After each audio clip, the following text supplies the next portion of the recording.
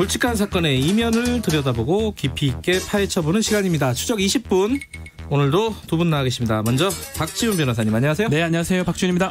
그리고 한겨레 신문 김한 기자님 안녕하세요. 네, 안녕하세요. 오늘은 아까 저기 뉴스 브리핑 할 때 채널 A 뭐 재승인 조건부 재승인 네. 관련해서 좀 다뤘었는데 요 얘기는 조금 가볍게 넘어갔습니다. 여, 여기서 하려고요.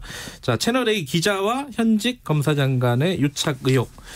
제가 이걸 정리를 좀 해보겠습니다. 지금 총장이 수사를 지시했어요, 이 부분을. 근데 그게 아, 그 맥락이 뭔지를 모르겠더라고요. 왜냐하면은 처음에 감찰을 하니마니 뭐 이 얘기 있다가 네. 그리고 뭐 진상 조사를 하니마니 하다가 갑자기 수사를 들어가 버렸어요. 이거 뭘 어떻게 해석해야 돼요, 김한 기자? 그러니까 감찰을 거부하고 인권부에 사실 맡겼을 때부터 이 음. 수, 기능은 수사 죄송합니다. 기능은 수사거든요. 네. 그런데 이제 인권부는 이런 거죠.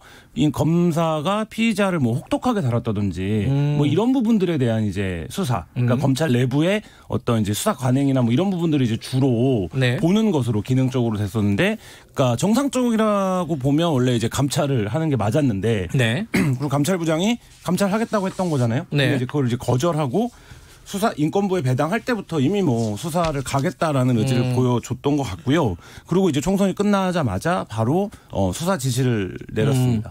근데 감찰보다 수사가 난 거예요?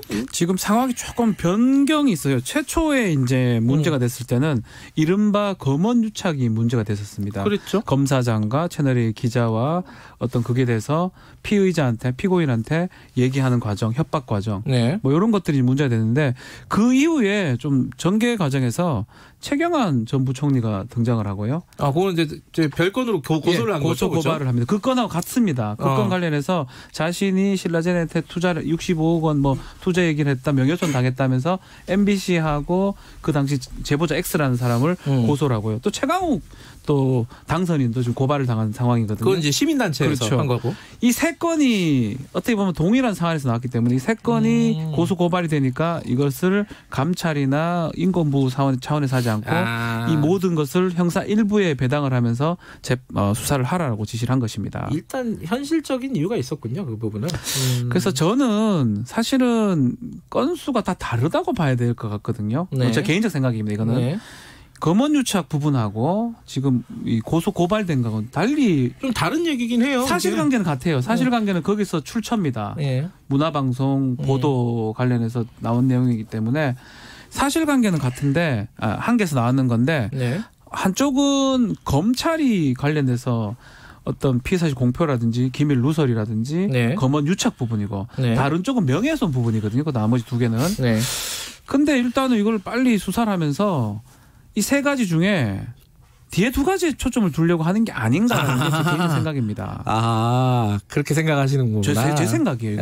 알겠어요. 제 생각. 그렇게 강조를 하세요. 예, 예. 근데 갑자기 수사가 이렇게 되는 게 그거 아니고는 사정 변경 사항이 없거든요. 감찰 음. 인권부 얘기하다가 수사가 된 거는 이 고발 고소 사건이 음. 들어오면서 된 거니까요. 이 사건의 본류는 어 이제 검찰과 어, 검사장과 예, 채널 A 기자가 어느 정도로 유착을 했느냐. 그렇죠. 요게 이제 사건의 본류긴 한- 한데 뒤에 두 사건은 간단하게 그럼 정리하고 그러면 본류로 넘어가 볼게요. 자, 그 어, 뭐 MBC에서 이제 최경환 부총리 전 부총리가 이 부총리와 그 관계자들이 60 여 5억 원, 원을 65억 원을 신라전에 투자했다. 투자했다가 아니라 투자하려고 하려고 했다는 말을 들었다. 들었다. 예. 그 보도를 했는데 저는 그 보도가 무리라고 생각해요. 저도 네네. 개인적으로는 이게 뭐- 왜 그렇게 보도를 했는지 모르겠어요. 솔직히 말해서. 근데 이제 에- 최경환 부총리 전 부총리가 저는 그 사실이 고소- 아니다. 고소할 수 네. 있다고 네네. 생각해요. 했는데. 본인 입장에서는 안 했으면 안 했으면 고소해야 되겠죠. 억울한 일이죠. 그 제보자를 고소한 건좀 조금 특이하다는 느낌은 들더라고요. 보통 언론사하고 기자를 고소하잖아요. 이거 어떻게 그러니까 보세요? 좀 솔직하게 우리가 정리할 필요가 있는 것 같아요. 어, 오늘 솔직한 시간인가요? 두 개의 시- 이 사건을 이해하는 두 개의 관점이 있는 거죠. 그러니까 네. 하나는 어, 검사와 네. 현직 기자가 메이저 언론의 현직 기자가 모종의 작전을 공유한 게 아니냐. 음. 이 시각에서 이 사건을 바라보는 관점이 있는 거예요. 그게 애초에 시작이었죠. 네네. 예. 그런데 한쪽에서는 아, 아니다. 상관없고 이거는 그 채널 A 기자가 그냥 단순히 검사장의 이름을 팔아서 장사한 거다. 음흠. 이렇게 보는 시각이 있는 거예요. 그렇죠. 그러니까 이 시각에서 놓고 보면 MBC의 후속 보도들이 좀 무리하죠. 그러니까 네. 이 최경환의 보도도 그렇고 이런 게 무리하고 그러니까 이걸 고소한 사람들은 야 이게 뭔가 MBC까지 같이 돌아가는 뭔가 음. 그래서 윤석열 사단을 흔들려고 하는 네. 모종의 작전이 있었다 여기에 프레이밍을 걸었다 음. 이렇게 보는 판단 속에서 언론사뿐만 아니라 이 이제 제보자도 불투명하다 이렇게 이제 보는 시각이 있는 거고 음. 네. 근데 윤석열 총장이 굉장히 망설이는 모습을 처음엔 보였어요. 뭐 감찰을 한 해 만에 뭐 이런 그랬죠. 거에서 바로 결정 안 네. 하고. 근데 이제 어쨌든 총선이 끝나자마자 수사 개시를 했 다는 거죠. 네. 그러면 이건 앞서 설명드린 맥락에서 보면 이 부분에서 본인도 뭐이 그래도 일부 언론들이 뭐 정면 승부다 뭐 이런 표현도 쓰고 있는데 승부. 뭐 네. 저는 그렇다라기보다는 네. 이 사건의 뭐 속성을 어쨌든 열심히 알아봤을 텐데 네. 이게 어떻게 구성이 된 건지 이 부분에서 윤석열 어, 지금 이제 수사를 맡은 쪽에서 서울중앙지검 쪽에서는 수사를 해볼 만 하다라고 판단한 게 아닌가 뭐 이렇게 생각이 듭니다. 일단 후자 부분으로 보거든요. 네. 그러니까 이게 우리 크게 두 축이라면 하나는 검사와 기자의 유착 부분. 네. 그래서 뭐 누구를 잡니 마니 뭐 유시민 네. 지사에 거론됐던 부분. 그리고 하나는 지금 말했던 것처럼 어떤 그 보도하는 과정에서 무리한 보도, 네. 명예훼손적 보도. 그렇기 때문에 지금 제보자 X가 지금 등장한 제보자 X는 네. 또 이거 말고도 관련성이 많은 인물입니다. 어, 유스타파랑 또 관련이 많아요. 잘 알죠. 예? 잘 아시는 분, 네. 분이잖아요. 그렇기 때문에 이 제보자랑 그 언론사, MBC까지 다 이제 고소 고발이 됐고 그래서 검찰에서 지금 수사를 한다는 거는 앞쪽 부분보다는 앞쪽 네. 부분은 어, 인권부 이런 걸 통해서 감찰을 해서 확인이 안 된다고 벌- 벌써 얘기가 됐어요.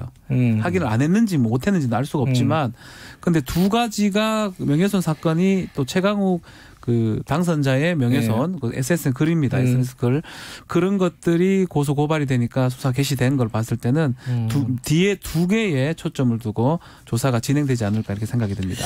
지금 이제 그 뒤에 두 개는 일단 수사를 한다고 했으니까 일단 네. 보고요.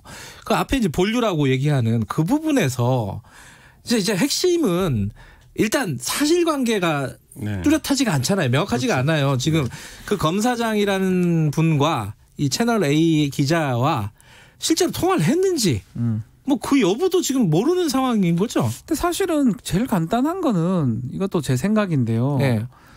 이렇게 검찰을 이렇게 팔아먹고 검찰 설명에 따르면 네. 검찰 거의 그 높은 그 오른팔 아유 누구라고 제가 말 안 했죠. 아주 높은 사람을 이렇게 하면 말해도 돼요, 사실. 예, 뭐 다- 한모 예. 검사장 어 그 정도면 전격적으로 압수수색을 한다든지 해서 예. 그이 이 기자 예. 채널의 이 기자의 뭐들 이렇게 뭐저 통화 내역이라든지 분석을 해보면 금방 나오거든요. 거짓말했다는 게. 근데 이게 지금 그 관련된 사실관계를 입증할 수 있는 자료를 채널 A와 MBC가 갖고 있는 거잖아요. 근데 그거를 두 개 갖고 제대로, 제출하지 않기 때문에 협조하지 않기 때문에 음. 제대로 못 한다고 하는데 그것을 확보할 수 있는 기관은 우리나라에서는 검찰밖에 없습니다. 그러니까 검찰이 이 언론사를 압수수색하는 게 부담스럽잖아요. 이건 언론사 현실적으로. 아니라도 이동 아 이모 기자 혼자는 하- 가능한 거잖아요. 아 그런 식으로 두 가지 방법이 있죠. 이모 기자를 압수수색하는 방법이 있고 네. 한동훈 검사장한테 뭐 얘기는 그렇죠. 뭐 한동훈 검사장. 예. 예. 예, 공, 제출받는 방법이 있죠. 근데 그렇죠. 지금 양쪽 다 원활하지가 아- 않으니까, 않으니까. 이게 지금 확인이 안 되고 있는 거고. 그러니까 원활하지 않다는 건 이미 제출을 안 한다는 거잖아요. 그렇죠. 예. 그러면은 영장을 쳐야 되는 건데 어 그렇죠. 그러면 또 혐의를 확인해야 되는 건데 실제 그 일이 있었는지. 그러니까 이게 음. 말씀하신 대로 의지의 문제고 개시의 문제인데 음. 그 과정에서 놓고 보면 어쨌든 어 이게 검사장 이 언론의 일방적인 주장이라고 네. 판단을 한다면 그걸 갖고 현직 검사장에 대한 또뭐 인신을 포함한 핸드폰을 포함한 압수수색 영장을 발부하는 게 네. 그 윤석열 어쨌든 사단의 핵심적인 인물 아니겠습니까? 네. 뭐 이제 그런 부분들에서 부담이 있을 것이고 언론사에 대한 수사 역시도 음. 언론사가 일단 자체 진상 조사를 한번 해보겠다 라고 네. 얘기를 한 입장에서 검찰이 먼저 치고 들어가서 압수수색을 하는 모양새를 연출하는 것도 네. 사실 이제 부담스러운 일이기 때문에 예. 그러니까 그런 이제 상황 논리로만 놓고 보면 네. 뭐 이러지도 저러지도 못하고 있는 그런 되게 상황이죠. 중요한 사건이잖아요. 음. 우리도 뭐 언론 기관 아니지만 언론 저도 법조도 계속 있는데 네. 이 유착된다는 건 상상도 할 수 없는 일이거든요. 근데 음. 이거가 굳이 이제 지금 민원련에서 고, 고발했을 때는 네. 협박으로 고발했습니다. 네. 협박 고발해서 지금 아마 오늘 조사 고발인 조사를 할 걸로 좀 생각이 드는데 수사가 개시됐으니까. 근데 그럼에도 불구하고 그 당사자가 검찰 핵심 측근이기 때문에 네. 핵심 당사자이기 때문에 검찰이 검찰을 수사하는 게 가능하냐 이런 또 근원적인 의문으로 돌아갈 수밖에 없는 거거든요. 그러면 또 공수처 얘기 또 나와야 되는 거예요. 그거 하려고 하는 제가 그 얘기하는 거 이거는 근원적인 얘기입니다. 이거는 네. 저라도 마찬가지일 것 같아요. 제가 제일 친한 나의 오른팔을 수사를 하는데 그걸 누가 수사를 잘하라고 얘기를 할 수 있겠습니까? 근데 그건 너무나 당연한 거거든요. 예. 근데 그 부담도 있을 거예요. 왜냐하면 유력한 검사고 법조 기자였는데 통화를 했을 가능성이 꽤 높거든요. 예, 예, 할수 있죠. 그러니까 이번 수 건이 있죠. 아니더라도 예, 했을 수 평소에 있죠. 예. 통화를 했을 가능성이 있기 때문에 뭔가 뭔가 내역이 나오면은 통화 자주 했던 기록이 있으면 굉장히 부담스러운 상황이 돼버리잖아요. 그러니까 참 어려운 그런 그러니까 그 경계에. 있어요. 예를 들면 예. 20초짜리 녹취를 들었다라고 하는데 그, 그 20 제보자가요. 제보자가 네. 20초짜리 녹취가 있을 수 있습니다. 근데 그 네. 내용이 뭔지 그리고 음. 어떤 내용으로 뭔가 예를 들면 이럴 수 있잖아요. 기자가 검사한테 전화를 해서 일방적으로 막 이 사건에 대한 얘기를 해요. 음. 그러면 뭐 검사 입장에서는 뭐 그건 그렇지 뭐, 뭐 그런가 내가 그런 좀, 것도 많아요. 예, 네. 좀 알아볼까? 네. 뭐 이런 대화를 할 수 있거든요. 네네. 충분히 근데. 어 그런 거를 보여줬다. 그러니까 이렇게 한다라고 하면 음. 근데 이거가 아까 말씀드렸듯이 근본적으로 이 사안을 이해하는 두 가지 인식이 음. 다르기 때문에 그러니까 그런 것만 하나 나와도 그거 봐라 이건 유착이다라고 주장할 수 있고 네. 근데 실체적인 진실로 들어가면 그건 그렇지 않다. 네. 이 근거가 또 될 수도 있고 뭐 이런 좀 경계 에 놓여져 있는 상황이긴 합니다. 이 근데 이게 이제 그 검찰 쪽에서 수사하고 뭐 그 전에 뭐 감찰을 하려고 했었지만 이 부분이 있지만은 채널 A 쪽에서 어 자체 진상 조사를 하고 있잖아요. 네.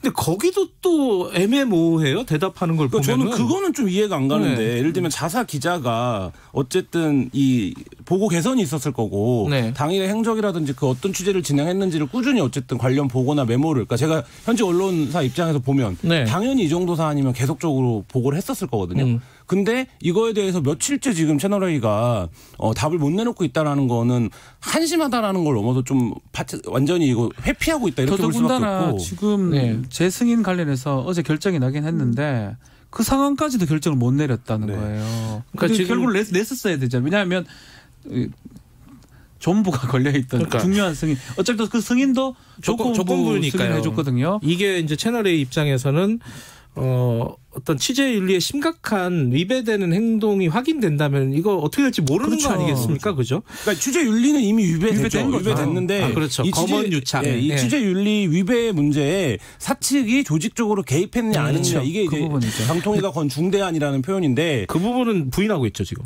부인하고 있는데 음. 근데 그게 어떻게 그러니까 부인을 하려면 증거를 갖고 부인해야 그렇죠. 된다는 거죠. 그러니까 언론사 일이 돌아가는 메커니즘 보면 여기 뭐 다들 계시지만 네. 사실 내가 누구를 만났다 이- 뭐 이런 취재 하고 있다 보고했을 거고 지금 이렇게 되면 그 녹취를 아마 받았을 거예요. 언론사의 뭐 데스크가 보도국장이나 네, 네. 뭐 뭐 이렇게 진행이 예컨대 됐을 예컨대입니다. 텐데 예. 근데 그거를 어, 못 내고 있다 지금. 네. 이거는 뭐 달리 생각해 볼 여지가 사실 있죠.